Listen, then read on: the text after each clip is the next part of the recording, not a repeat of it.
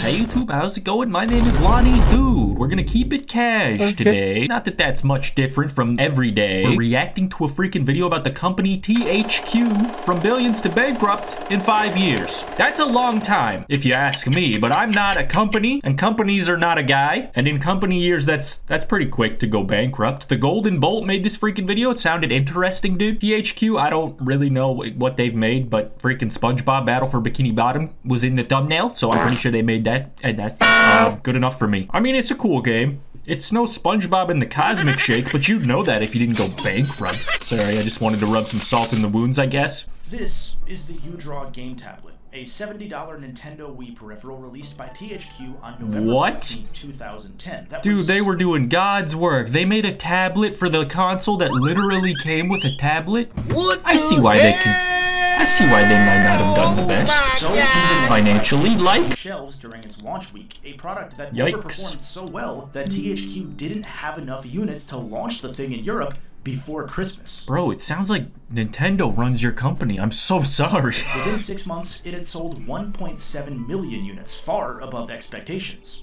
This is also the UDraw game tablet, a That's for the PlayStation peripheral for the oh. PS3 and Xbox 360 released on November 15, okay. 2011. You're triple dipping. Protests of at least half of the company.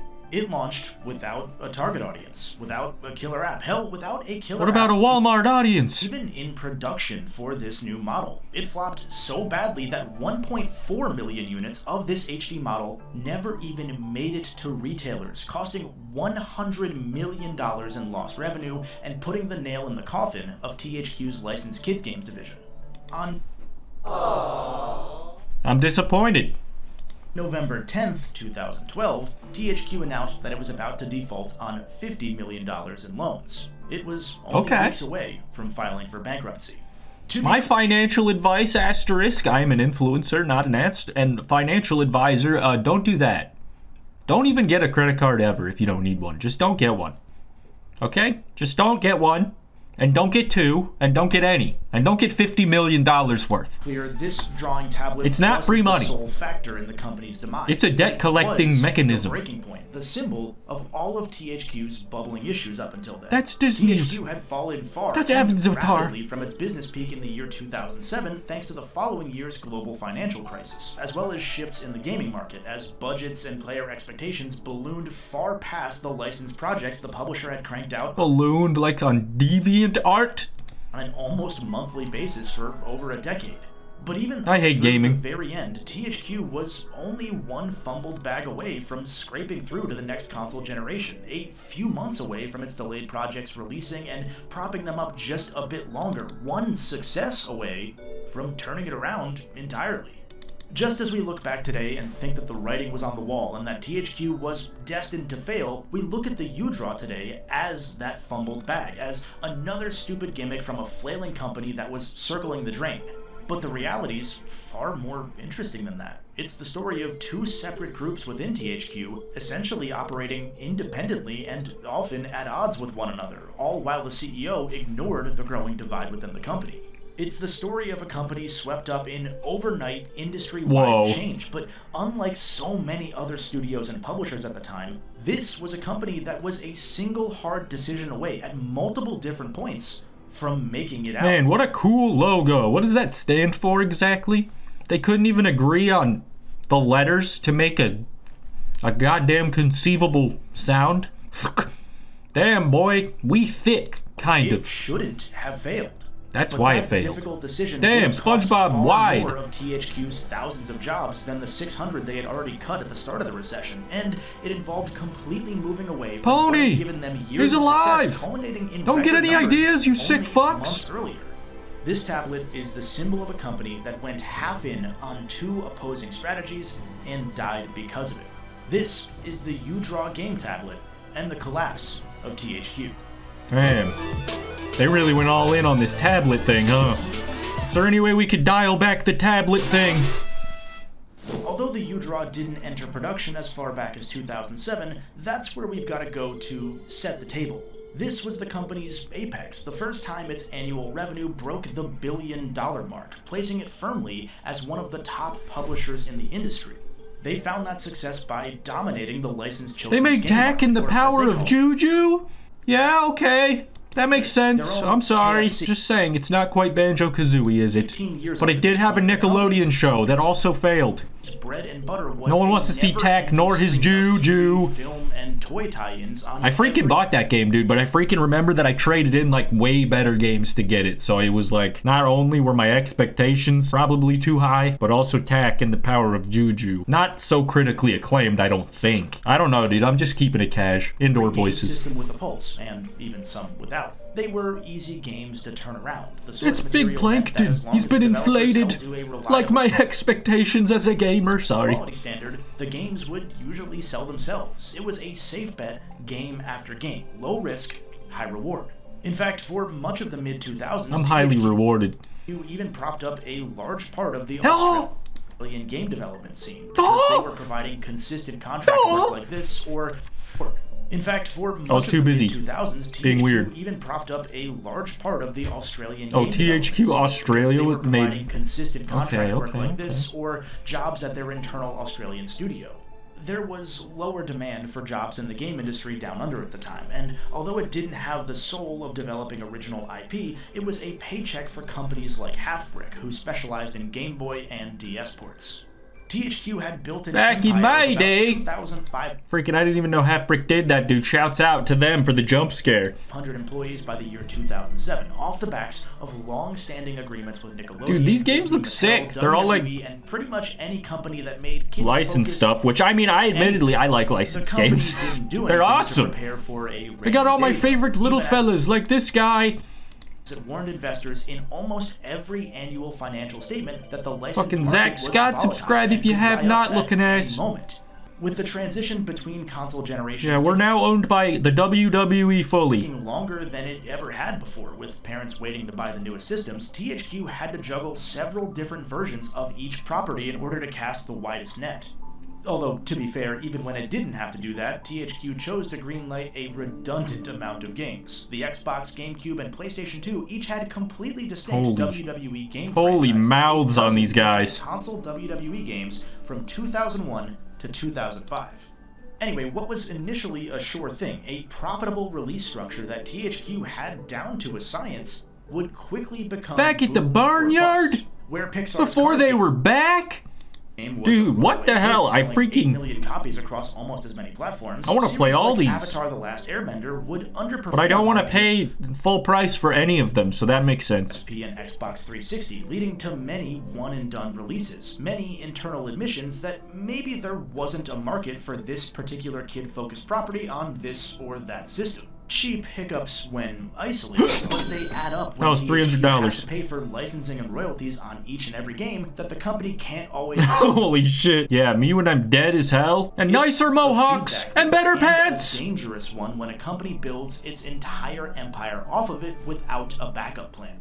THQ signed lengthy contracts with the Nickelodeons and Disneys that often required a minimum number of games per year. Games that THQ often knew would flop, but that it was required to sink money into anyway. During an interview with Polygon, a former manager at THQ recalled, quote, Near the end, we were still getting screwed for Nickelodeon games, which we hadn't worked on in years. We still owed a ton of money. Jeez. In the same year that THQ posted its record profits, the iPhone first released, with the App Store launching the following year, both occurring right as the Great Recession began.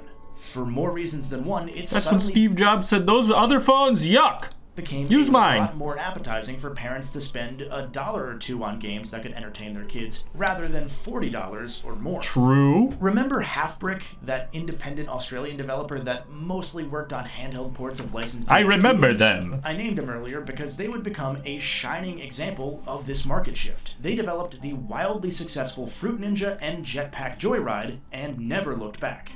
Children's media licenses began jumping to the cheaper smartphone platforms as well, leaving countless studios and thousands of employees across the industry with nothing to work on. THQ wasn't the only one hit with this devastating one-two punch. EA laid off hundreds in 2008 and 2009. Activision, despite its soaring success thanks to your Guitar Heroes and Call of Duties, it laid off around 500 employees between 2008 and 2010, some of those taking place as part of the merger with Blizzard, a company that itself was also weathering these new stormy waters. The already struggling Midway lost another 100 plus employees, and THQ cut its mobile game staff by 100 to focus on smartphone titles before later closing a third of its studios and laying off another 600 console developers. So you're saying the iPhone killed this company?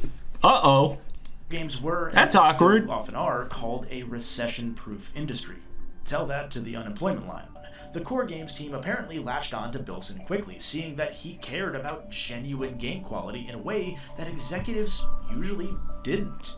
The licensed developers, however, didn't care for somebody coming in and making so many suggestions to their projects since they were on such tight deadlines as it was due to licensing agreements. Apparently, Bilson was also pretty straightforward with his ideas, which was a bit crass to the folks who had been living and breathing Jimmy Neutron, Britney Spears, Pixar, and hmm. Scooby Doo for the better part of their careers. Keep the deadline issue in mind for later. Bilson wasn't just some up till 4 a.m. dude bro gamer, however. I mean, he did stay up till 4 a.m. sometimes playing the newest AAA titles, according to other employees, but that was so that he could try and chat about the latest and greatest the competition was putting out. Despite maybe coming off as a super core gamer, he's actually the one who greenlit the UDraw game tablet during the brief time that he actually had a say outside Oh of yeah, way to go, whatever your name was. the concept for a drawing tablet peripheral had come to two of THQ Australia's marketing team, not designers, as a way to complement a Wii sequel to the successful DS game Drawn to Life. At the time that it was greenlit, we weren't quite yet fully inundated with a hundred million They drew an NFT way back then. Fucking lame. cars and Wii remote But also all sitting in our impressive. Peripherals were How'd you all do the that? rage, even more so than the phrase "all the rage." And with the Wii itself still impossible to find in 2008 due to incredible demand, even in the face of the recession, it was a no-brainer to get in on that action. Or at least it was a no-brainer for a company that wasn't publicly committing to a core gaming focus. Again, say Or one stupid thing, pictures of monkeys. do another. No one wants that shit. This is what killed THQ, the company's reluctance to fully commit its half measures. Just a moment ago, I snuck in a reference to a Warhammer MMO that was in development, a bold move for a company even at the peak of its influence, considering how many Warhammer, more like be hired to deal with Snorehammer. Why Nintendo does he have to turn into a balloon? Why do I have to keep sub- being subjected to this? I didn't look this up. This wasn't a setup from the start. I've never seen this, I swear. And I won't be saving it for later. Themselves, or any of the obstacles that might show up in the stages, it's really, really neat. The game tablet itself works surprisingly well for what you might expect from a gimmicky early 2010s peripheral. The pre-U, if you will. I thought of that myself, and I don't even work at this company. That's their problem. Oops. Just motion controls and some buttons for things like erasing, swapping drawing tools, or zooming in and out, as well as Is that Zac Efron playing with this shit? The stylus has two connected buttons around where your thumb would go, and the tip of the pen Nice is also chair, buddy.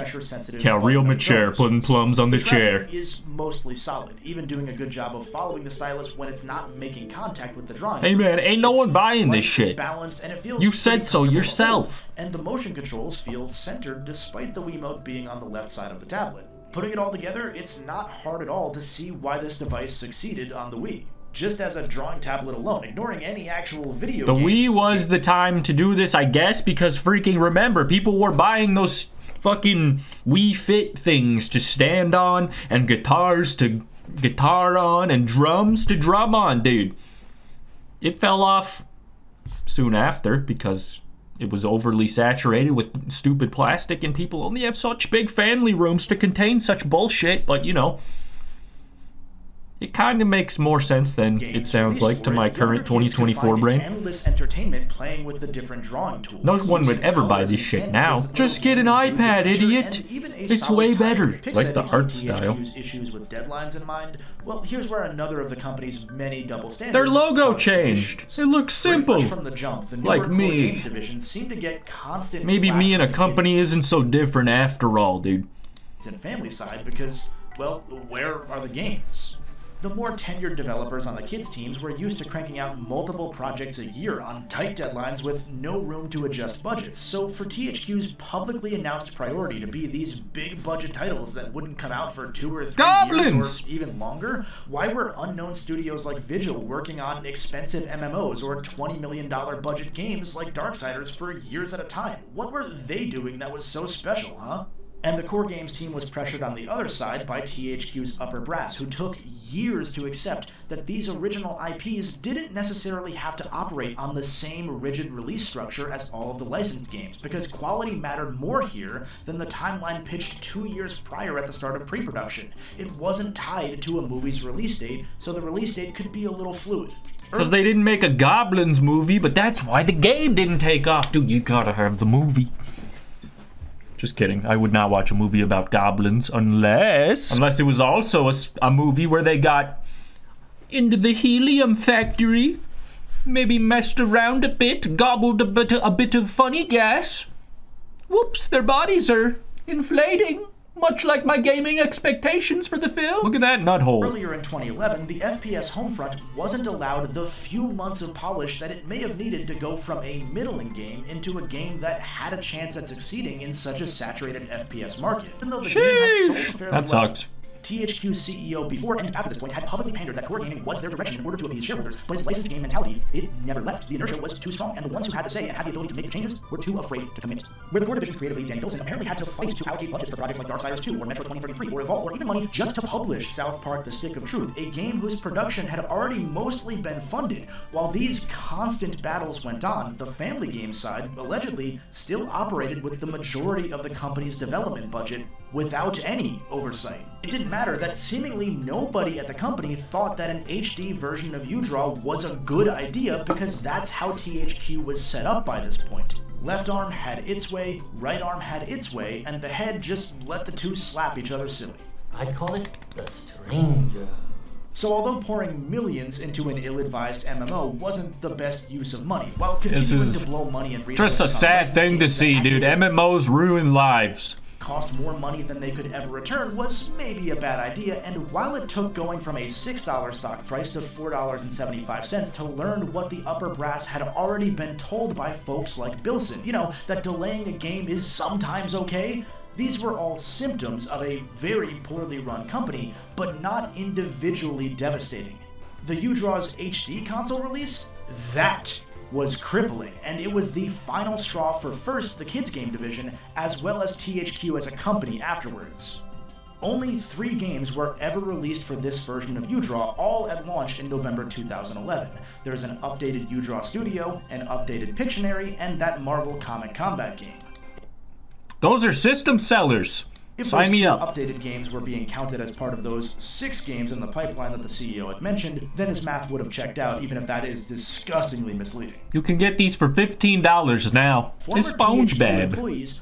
Me to noi- me that me. Nowhere along the Dude, are you saying we got robbed of the Doodle Bob drawing game? That is a freaking tragedy.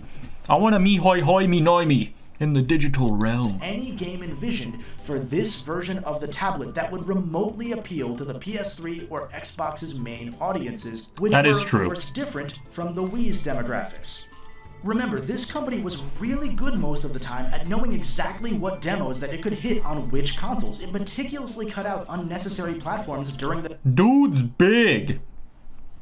You're not wrong. Transition to the HD era when it found that certain properties underperformed on, say, Xbox 360. And yet this thing made it all the way through production without any of the upper management on the kid side of THQ questioning that fact. And somehow, since Bilson's core games team could only suggest or argue, not actually force a change, nobody thought to limit the Udraw's production order on these HD systems. I really, really try to avoid the what are they thinking sort of phrasing when revisiting past failures or questionable decisions, but the company's own staff was screaming that sentiment, and with good reason. At launch, THQ had produced 2.5 million PS3 and Xbox 360 Udraw tablets. That's 40% more than had been made and sold for the Wii across its entire first year on the market. The most generous defense possible that this means they only Who the fuck is this guy? Respectfully. the system still means they spent tens of millions of dollars on R&D and production for two new versions of the tablet that would work on two different systems and that whoever had the checkbook thought it would be smart to have an entire year's worth of stock ready to go by launch day all just assuming that they would fly off the shelves thanks to high demand for Pictionary and Marvel Comic Combat and nothing else for People at love that the first shit, right? Six to twelve months on the market. Outside of the early Xbox 360 with the Red Ring of Death issues, there has not been a physical production fiasco in the games industry on the level of this HD U-Draw disaster. Oh, it halved shit. THQ's revenues for the quarter. It doubled its losses, and it directly led to the company defaulting on loans that could have been and would have been manageable if anybody in the chain of command had thought, wait, maybe we should cut this order down to maybe a million units total just to be safe. Not even cutting the doomed to fail HD versions entirely, just cutting the order size down. There's no excuse for this amount of malpractice. There was no possible breakout hit for THQ that could cover and make up that cost. Saints Row 3 overperformed expectations that very same quarter, which THQ lauded in its financial disclosures as evidence that its AAA strategy was working. WWE 12 was outperforming the prior year's game. Even Homefront had turned a profit that year despite the reviews and instantly having its staff killed off. But Udraw Killed off? PS3 Holy shit, Xbox, dude. Despite Literally. total failure on the PS3 and Xbox, THQ killed off its kids and family division Killed off! It's kids! and family hundreds of For content! Hardcore! I'm milking this. in order to focus solely on its last few chances at survival. You know, once Danny Bilson's out, I'm out. Them's the freaking rules, dude. This was interesting. Seems like it all could have been freaking avoided. Shout out to the Golden Bolt for making this video. THQ stood for That's Hardcore. When it came to their, their losses on their credit card and the interest that they owe or something. I don't know, dude. Thank you for watching this freaking reaction video. Hit the like button if you enjoyed it. Subscribe if you're new. I'll see you guys in the freaking next one. Peace.